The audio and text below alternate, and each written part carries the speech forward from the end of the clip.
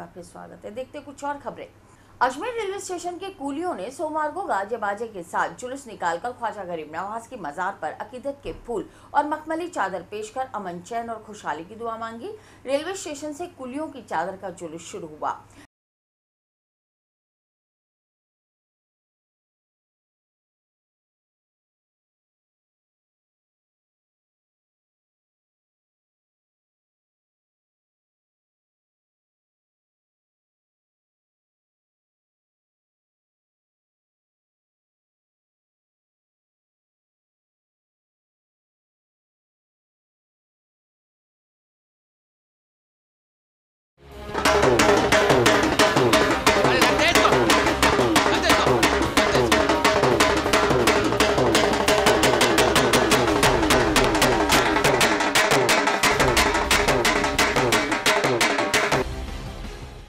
आज बाबा के चादर हर वर्ष की बात है इस वर्ष भी हम बाबा को हम उर्स संपन्न होने के बाद हम चादर पेश करते हैं समस्त कुलियों की ओर से।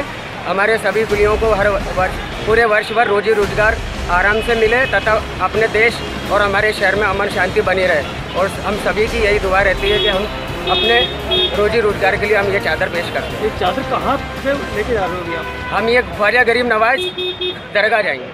कहाँ से हो? रेलवे स्टेशन से रेलवे स्टेशन से अजमेर अजमेर रेलवे स्टेशन से ख्वाजा गरीब नवाज़ के यहाँ पर पेश करते हैं।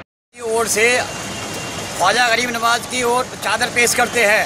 हर भांति की तरह अब के भी हम उर्स के बाद, समापन के बाद हमने रेलवे स्टेशन से और ख्वाजा गरीब नवाज़ की दरगाह तक ये चादर पेश करने को जा रहे हैं। सभी कुलियों को अमन चैन, रोजी रोज़गार मिले और देश में खुशहाली रहे, यही हम हमेशा दुआ करते हैं। पटवारी के 4,400 पदों पर निकली भर्ती में 3500 प्रतिभागियों को राजस्व मंडल की ओर से नियुक्ति दे दी गई है। वहीं अब 615 पदों पर मंडल अभ्यर्थियों के दस्तावेजों के सत्यापन का कार्य किया जाएगा जो सोमवार से आगामी 12 अप्रैल तक जारी रहेगा। 2015 में जयपुर चयन बोर्ड द्वारा राजस्थान के समस्त जिलों से पटवारी के 4,400 पदों के लिए आवेदन मांगे थे जिसमें परीक्षा का आयोजन किया गया।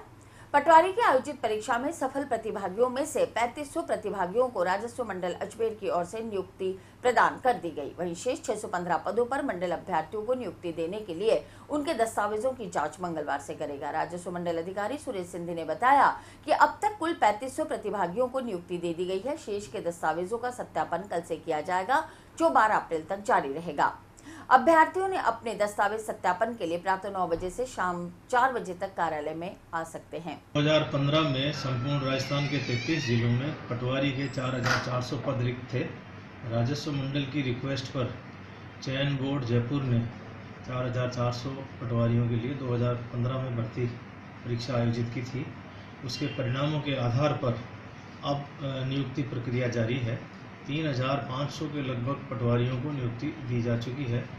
अभी 615 पटवारियों के और परिणाम चयन बोर्ड जयपुर से प्राप्त हुए हैं। आज इनके दस्तावेज़ सत्यापन का कार्य प्रारंभ किया गया है। यह काम अगले चार दिनों तक चलेगा।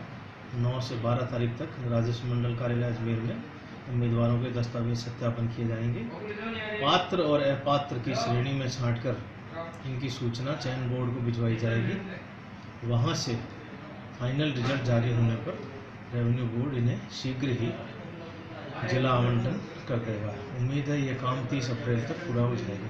हाँ ये बात सही है कि लगभग 800-900 के लगभग पटवारी नियुक्त होने के बाद भी नौकरी छोड़कर शिक्षक और ग्राम सेवक तथा एलडीसी में चले गए हैं, क्योंकि पटवारी में जिन्हें घर से दूर पोस्टिंग मिली थी और शिक्षक, ग्राम सेवक और एलडीसी में यदि उन्हें अपने ही ज़िले में, अपने घर के आसपास पोस्टिंग मिली है तो वे इस सेवा को छोड़कर चले गए हैं। शिक्षक में काफ़ी पटवारी के मुकाबले अधिक वेतन भी मिलता है, इसलिए काफ़ी लोगों ने पटवारी की नौकरी छोड़ दी है। महिला एवं बाल विकास राज्य मंत्री अनिता बघेल ने वार्ड संख्या 15 आशागंज में जनसंपर्क किया और वार्ड वासियों की समस्याओं को जल्दी पूरा करने का आश्वासन दिया।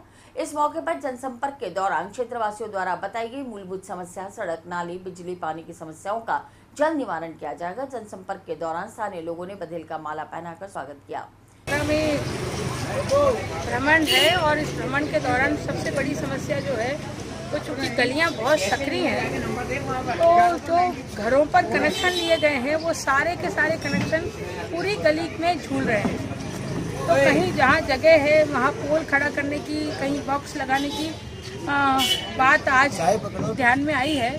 एक बहुत बड़ी समस्या इस कॉलोनी की है कि सीधे जो गंदगी है घरों की, जो लैट्रिन है, वो लैट्रिन सीधे गलियों में बह रही है, नालियों में बह रही है। वो बहुत बड़ी समस्या हर परिवार की ये समस्या है कि सीधे लैट्रिन नाली में बह रही है।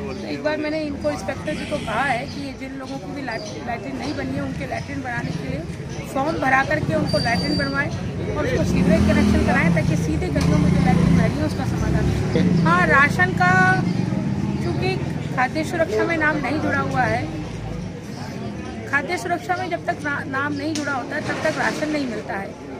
विधवा महिला है, उसकी कैटेगरी है पेंशन होल्डर है, उसकी कैटेगरी है श्रमिक कार्डधारी है, उसकी कैटेगरी है। और विधवा महिला को जब तक पेंशन नहीं मिलती, तब तक उसका खाद्य सुरक्षा में नाम नहीं जुड़ सकता। तो हमने उससे राशन कार्ड की फोटोकॉपी ले ली है मोबाइल में, और उसका पहले हम खाद्य सुरक्षा में विधवा पेंशन बनाने का काम करेंगे, उसके बाद में उसका खाद्य सुरक्षा में नाम जुड़ाएँगे, ताकि उसको गेहूँ मिल सके। जिनके नाम है, वो उनको तो गेहूँ देता है, लेकिन जिनके काम नाम नहीं है, उनको गेहूँ नहीं मिलता है।